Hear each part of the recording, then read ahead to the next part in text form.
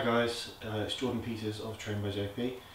Today I am filming my lower body second session of the Back to Basics split I've filmed throughout uh, the last couple of weeks. Um, prior to doing my leg session today, I'm just going to take you guys through what I like to use specifically in my peri-workout shake. What that consists of is just pre, during and post workout.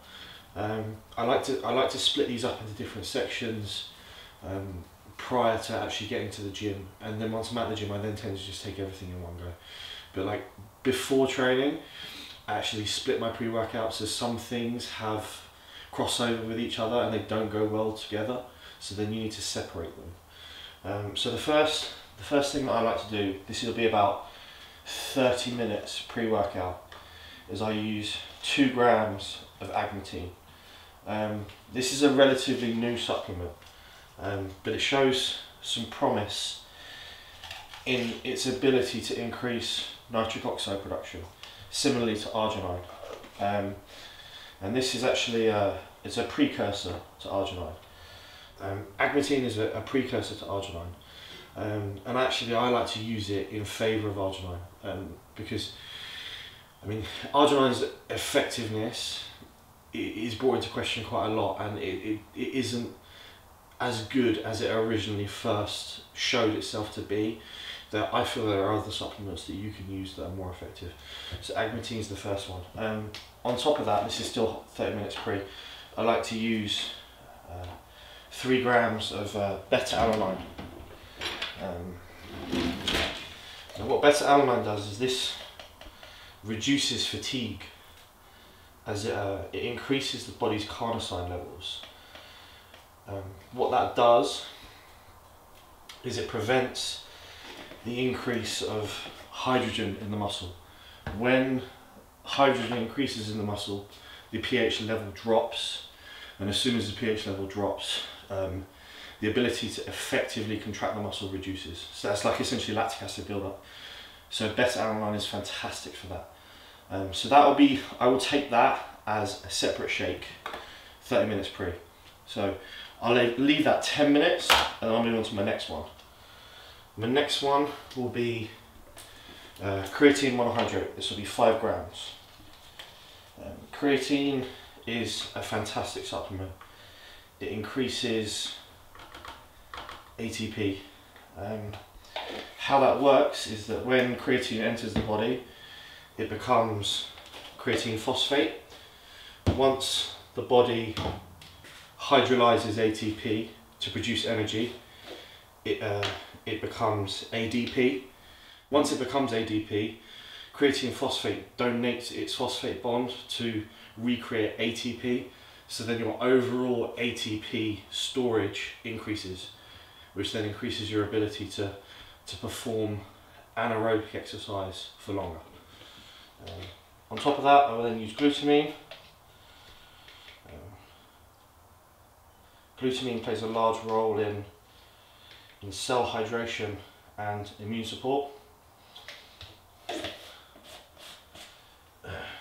on top of that, I then use taurine. Um, taurine is one of the ones that, that that has to be kept separate to beta alanine they both use the same pathway.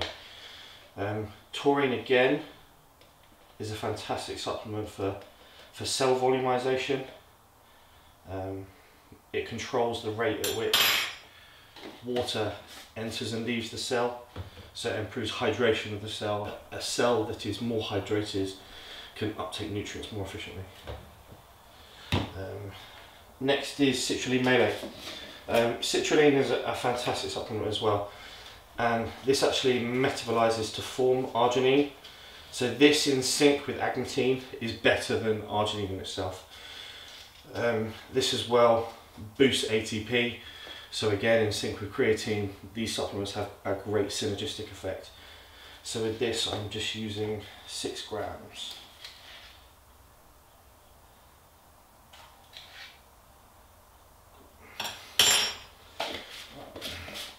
So that will be what I then take 20 minutes pre-workout. Uh, then when I hit the gym, this is when I then start to use my carbohydrate and aminos. Um, at the moment I'm using Karbolyn. I switch back and forth between Karbolyn and Glycofuse. They're both extremely efficient carbohydrates. Um, this is due to the rate at which they pull water into the gut, it's very low. So how quick they hit the blood is, is, is high. Um, so how fast they will elevate insulin is high. Um, they cause minimal bloat, um, which is which is important if you're taking it during a workout. A lot of people that are using maltodextrin or dextrose will get bloating, which which will put you off of your session. Um, so I'm yeah, I'm using Karbolyn. Um, my protein source I'm using Pepto Pro, which is hydrolyzed casein. Again, um, due to its rates of hydrolysis, it hits uh, the blood extremely fast. Um, so that in sync with a, an efficient carbohydrate drives everything into the muscle more efficiently. I then top that up with EAAs, um, and at the moment I'm using HumaPro, um, which again is a, a great supplement. Um, so that's how I like to divide what I'm doing across the workout. Um, so as I said, I take that half an hour pre, 20 minutes pre, and then just before I start is the carbohydrate and aminos. Um, and then I will sip that, that one throughout the whole session. And then I want to keep topping that with water as well because you do still need quite large amounts of water to ensure you, you're able to deliver the nutrients to the muscle. To efficiently deliver everything, you need to be well hydrated. So make sure you are topping up your shaker with water. Um, cool, so that's everything for the supplement section.